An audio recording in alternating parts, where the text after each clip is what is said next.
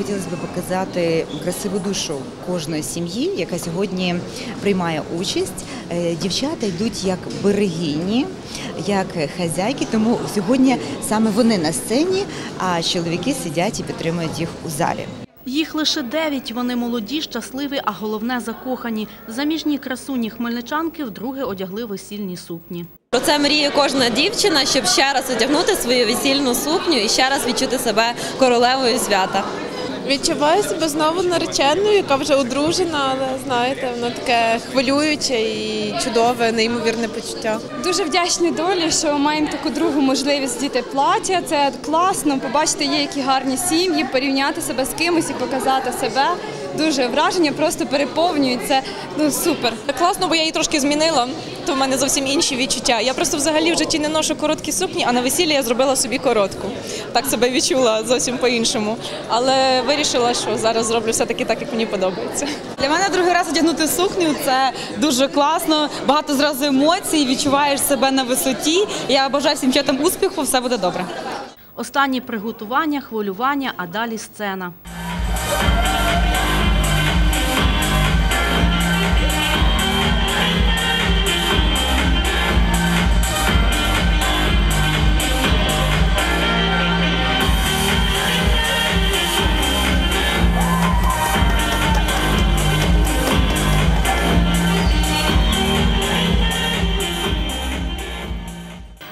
Відповіді на провокативні запитання, дефіле у весільних сукнях і наостанок найпростіше та водночас і найскладніше публічне освідчення у коханні власним чоловікам. Дівчата тут і танцювали, і співали, й інші таланти демонстрували. Та усі зізнання неповторні, трепетні та дуже щирі. Глядачам розваги, а от журі було не солодко. Оцінювати найвідвертіше та найпотаємніша складна робота. З поміж усіх зізнань у коханні обрали те, яке зачепило найбільше. Кажуть, переможницю відбирали за різними критеріями Перш за все за критерієм об'єктивності, так тобто хто дійсно себе презентує краще, хто дійсно зможе доказати, що це якраз найкраща пара чи найкраща наречена року. Тобто об'єктивно, неупереджено, чесно, прозоро. Первым критерием, который был сегодня, э, учитывая мою профессию, это была естественность, потому что это не конкурс красоты.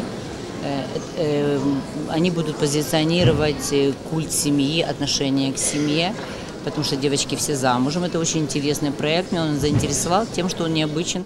Тож титул наречена року здобула учасниця під номером 1 Ілона Табенська. Дівчина вразила не тільки поважне журі, а й глядачів. Їй ще й дісталося звання міс глядацьких симпатій. Відтепер молода сім'я має змогу поїхати у романтичну подорож та взяти участь у фіналі всеукраїнського конкурсу наречених. Та попри те, що головний титул дістався лише одній, кожна із учасниць отримала якесь звання та подарунки. Тетяна Призикар, Юрій Чорний, Володимир Паламар та Іван Мовчан для інформаційного випуску.